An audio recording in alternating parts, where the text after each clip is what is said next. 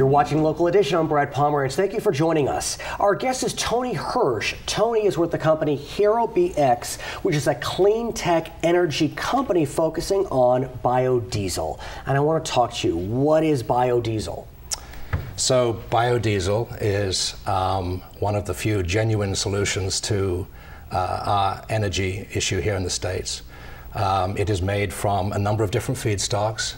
Um, biodiesel is um, biodegradable, it is non toxic, and you can even drink the stuff. Oh although, my. Yeah. So, but, but it's I, not ethanol, which is made of corn. Because when I think of biodiesel, for some reason I just go to corn. It's not that. It is not corn. No, corn uh, is um, really produces ethanol which is a gasoline biodiesel, uh, currently is a, a, diesel replacement. Now, it seems that ethanol has had, you know, a decent run and it's been around for a while. Biodiesel, I don't know, I hear rumblings about it, but is it in its infancy? Is it a teenager or where is it in yeah. its life cycle? It's, it's probably not even a teenager. Oh, really? Um, no, it, it, uh, biodiesel is a very young industry, which is part of the issue.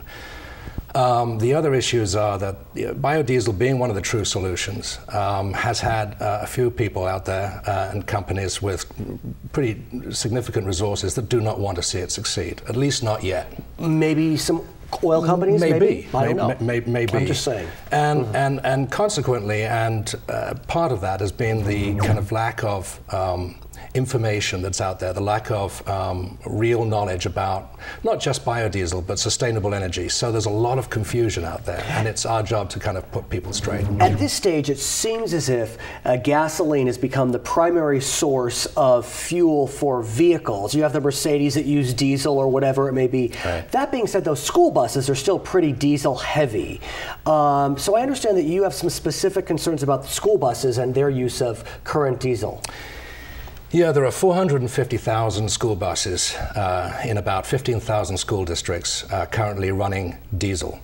Um, and uh, Yale just conducted a, a, study in Connecticut which showed that the toxicity inside the school bus was five to ten times greater than it was outside. Meaning um, the students that are sitting on those chairs they are ingesting. They are ingesting uh, what we call uh, it's, it's PAH. Um, these are particulates and aromatics that lead, uh, in particular, to or can can cause, um, in particular, asthma and also cancer. Now, are any school districts therefore turning to biodiesel as a solution? Yeah, in about five states there are school districts. There are about between 130 and 150, depending on which month you're talking about, um, school districts that are successfully running um, biodiesel uh, in their school buses um, and are aware of all the benefits of doing that, which are huge. I think it's fair to say that the first question you must get when you go to Washington or Sacramento or whatever state capital it may be is what's the cost?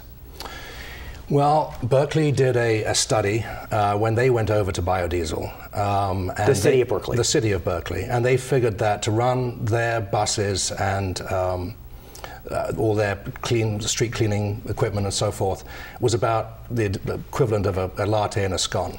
Meaning the incremental increase is there's a small increase. I'm wondering though, Tony, is as biodiesel continues to develop as an industry, will those costs drop? Because there's more biodiesel being made, and just through economies of scale, you're going to see uh, cheaper products. absolutely. I mean, we're in the first phase of biodiesel. We're probably in the most inefficient stage, and the feedstocks that you make biodiesel out of are changing rapidly. The second and third generation of feedstocks, which Hero, I think, is the, the highest quality biodiesel manufacturer in the States. Um, we are looking very carefully at, at camelina and algae as the future. Interesting. Tony, thanks for joining us. We really appreciate it. Very important topic. Anytime. You bet. You. For Local Edition, I'm Brad Pomerantz. We'll send you back to CNN HLN.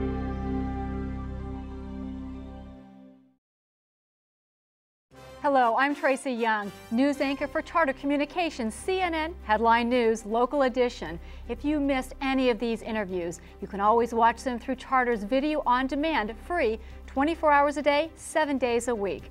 To access all of Charter Communications local edition interviews on VOD, please go to Charter's Channel 1, click on Community Interest, and then click on Government and Public Affairs. And thank you for being a Charter customer.